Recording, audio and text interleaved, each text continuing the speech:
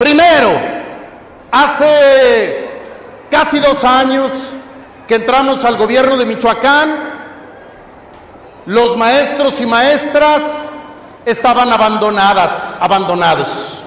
No les pagaban ni sus quincenas.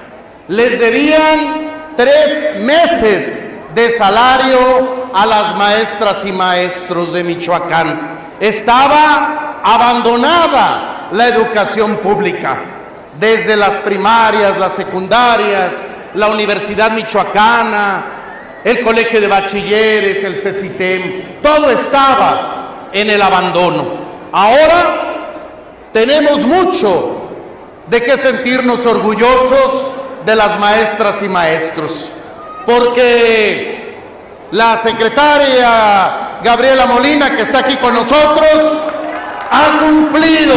con su misión.